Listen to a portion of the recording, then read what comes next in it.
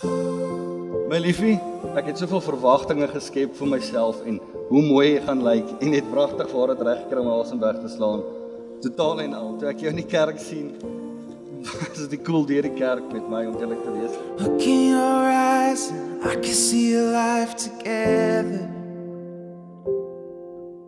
Standing by you,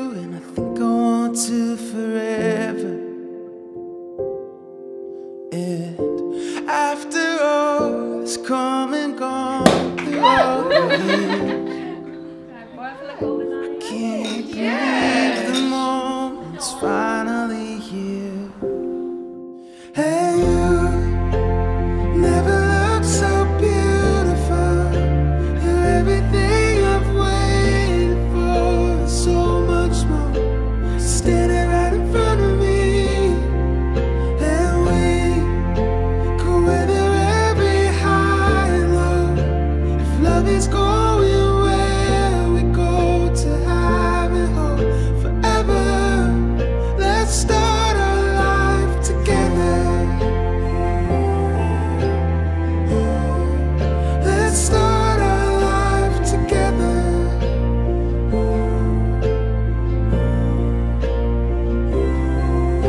My hele liefde vir mekaar het vir my gedemonstreer hoe God se liefde behoort te lyk.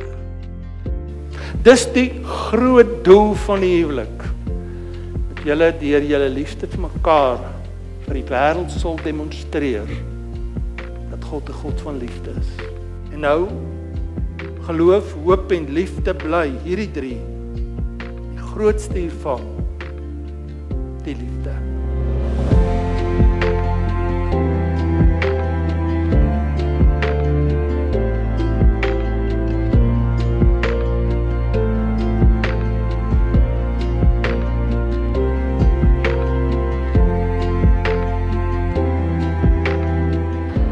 Boetie skoonsis Ivan wat vanaand hier so sit met 'n meisie waarvan hy nie eens kon droom nie en ek wat gelukkig genoeg is om hierso te wees om dit te kan sien en te sien wie hulle die toekoms in gaan. Liefde het geen grense nie, dit ken nie kwaad nie en al is dit soms moeilik saam met iemand soos my Boetie.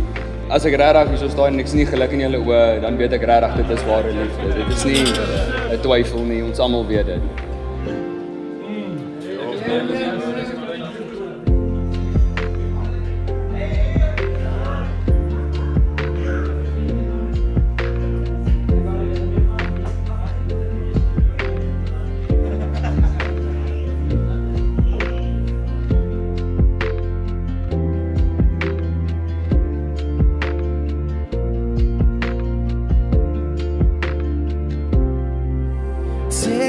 hand, there's a thousand first dances for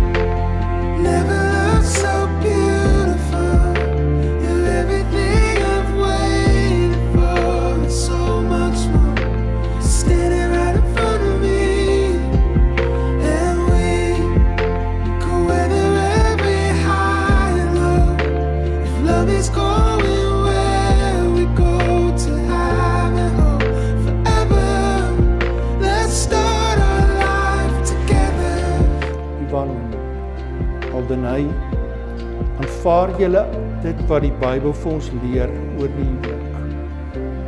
En is dit julle voornome om julle huwelik hiervolgens in te rig? Wat is jou antwoord? Ja, dominee. Ja, Dominee. Ek verklaar julle dan nou wettig as man en vrou. You may kiss the bride. Ja.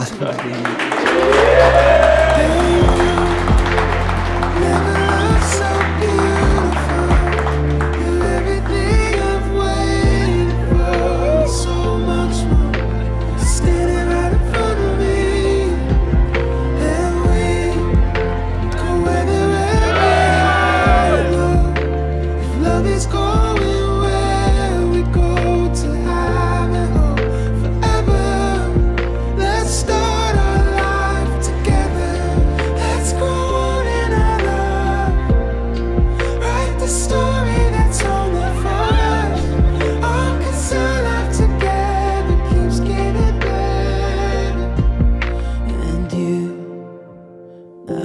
look so beautiful.